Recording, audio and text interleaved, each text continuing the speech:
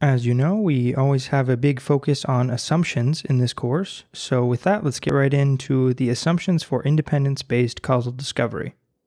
The new assumption that we need to make for independence based causal discovery is what's known as the faithfulness assumption. So, recall the Markov assumption from week three of the course when we were introducing graphs.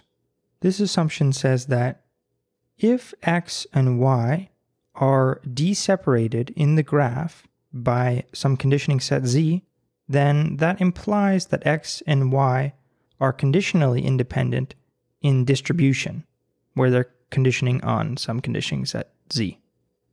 So this Markov assumption tells us how to go from the causal graph on the left-hand side of this implication to some statement about the distribution of the data on the right-hand side of this implication.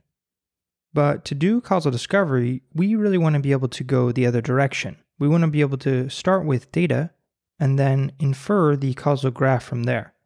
So we need an assumption that has an implication in the other direction. And this is the faithfulness assumption. It's just the converse of the Markov assumption.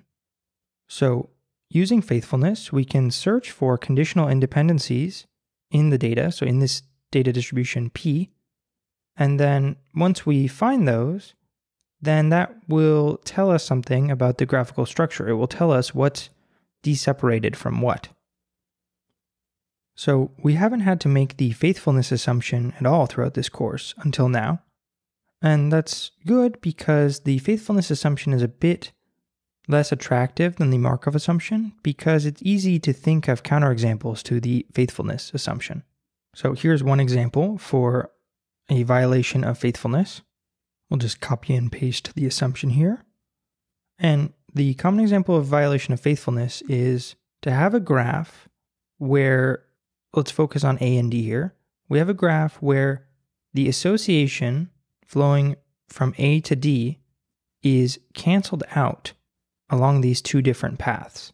So the idea here is that the blue path cancels the red path in terms of the association flowing along them.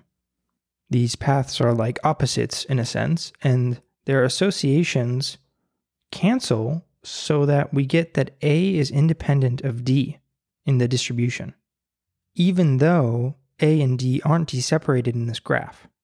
Okay, so if faithfulness were true, we would have that A and D are independent, which then implies that A and D are d-separated. That's what we would have if faithfulness were true, if it weren't violated. But in this example, it is violated. To make this a bit more concrete, I'm going to add some coefficients to these paths here. And what these mean is in a linear example, it corresponds to these structural equations. I haven't added any noise terms to the structural equations, but you could do the same thing with noise terms. It would just uh, be a bit less minimal of an example.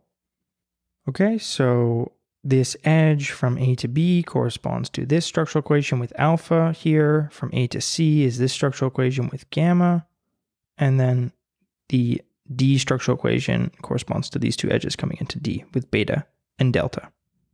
Then if we plug in for B and C in the structural equation for D, if we plug in their corresponding structural equations, then we get this for D in terms of A.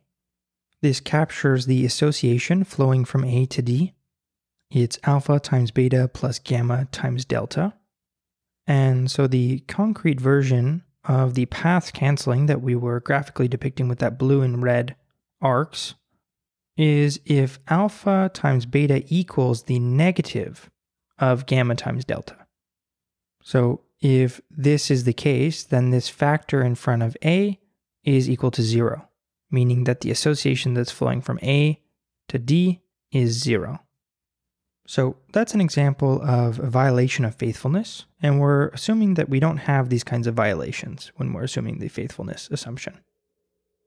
And then the other two assumptions are much more familiar. The first one, causal sufficiency, is just a way of saying that there's no unobserved confounders of any of the variables in the graph. And the second one, acyclicity, is just what we've been doing throughout this course. The graphs are acyclic. So, listing all the assumptions together, we have the Markov assumption still, the faithfulness assumption, causal sufficiency, and acyclicity.